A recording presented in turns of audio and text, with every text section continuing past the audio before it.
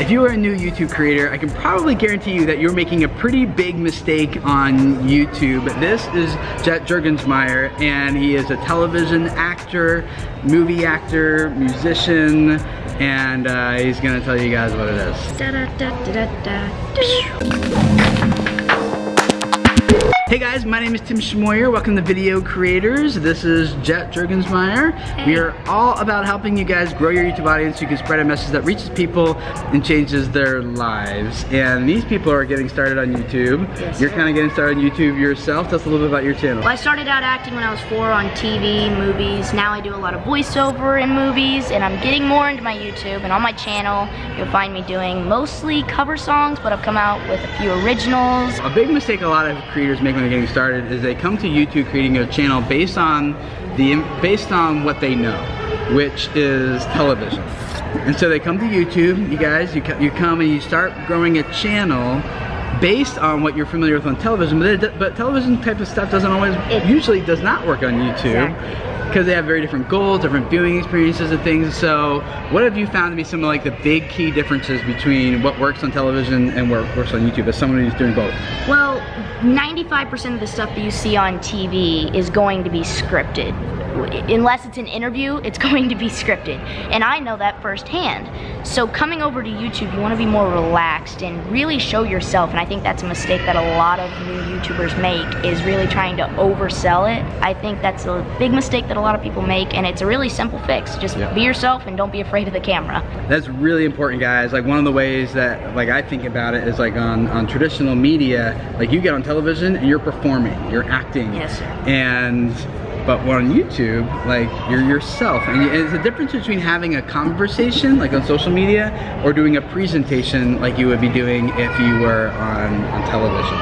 And so it's easy to come to YouTube and be like, hey guys, look at me, I'm awesome, and you should know all about my day because I have a really awesome vlog or game or whatever coming up today. Blah, blah. And people are like, whoa, what's going on? Chill out. a lot of people don't realize that people watch television for different reasons than they watch YouTube as well, and that makes a big difference of how we present.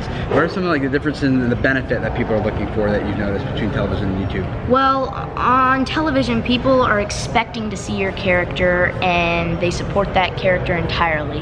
But on YouTube, I feel like it's a better place to promote what you believe in and goals that you want to have. And I think it's easier to kind of create a family around you. And I feel like your viewers really will enjoy being able to say, I'm part of their family, I'm part of his group, I'm part of her group. And I feel like they'll really be able to enjoy it a lot more when they can push what you believe in as well, as opposed to pushing what a character believes in. Yeah.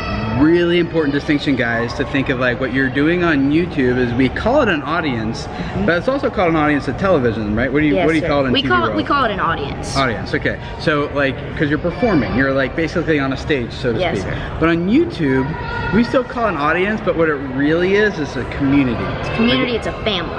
Yeah, so there's like, there's like, on television, you don't expect to have any interaction with this guy, right? He's on, he's up, on, you're never gonna meet him, never gonna talk, well hopefully you do, but I'm reading my lines. Right.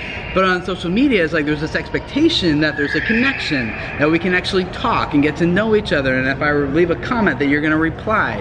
And so you gotta really think about what you're doing on YouTube in terms of a, as a community, and not just an audience where you're a monkey on a stage doing a gig, and then afterwards, like the audience goes away. you know? Exactly. That's actually another thing how you're saying reply to your comments. That's something that I found very useful is going down your comments and liking the comments and really engaging with your audience. And I feel like you can learn more about them by talking to them. And like I said, it's all becoming part of a family. And I feel like they'll engage with you more if you Yeah. reply to them.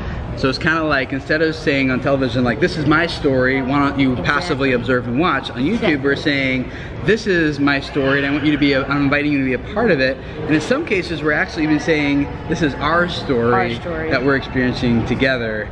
And then that's when you can really mobilize your audience to do a lot of good in the world. Kind of like joining the movement. That's right. Or his channel is called the Jetpack. Jetpack. Join the Jetpack. I love that name. His name's It's pretty Jet. cool. Get it? Jetpack. Get it? J E T pack. Clever. I like it. Thank it's you. good. Thank you. So in your channel, what are some things that you do to keep that human element really authentic there so people connect with you? Well, one thing that I I really want to show is it's all me. I'm playing my guitar, I'm doing the singing, nothing is added afterwards. It's all real and it's all natural. I feel like that's how I'm able to show my audience, my viewers, me, and how I'm able to really connect with them and show them that I'm, I'm not acting. I'm not, this isn't scripted.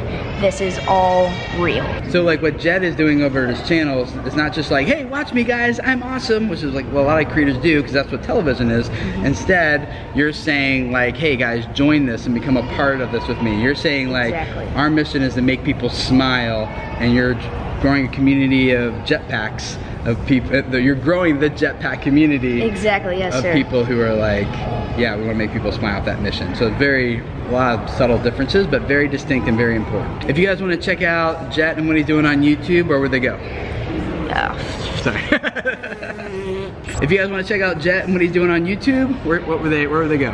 Just search Jet Jurgensmeyer. That is Jet with one T, and good luck on the last name. It's hard enough.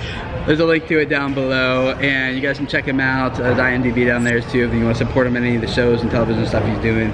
So really important for you guys to think about the differences between television and YouTube and do a strategy that's centric for YouTube more so than for television. They're very different platforms that perform very differently. If you're really serious about wanting to take this to the next level and do content that's natural for YouTube, click the playlist you see on your screen right now. It's a short one that'll just really teach you more about storytelling and how to craft content that people will really love and get into. So go check that out, and I'll see you guys over in that next video. And check him out down below. Thank you.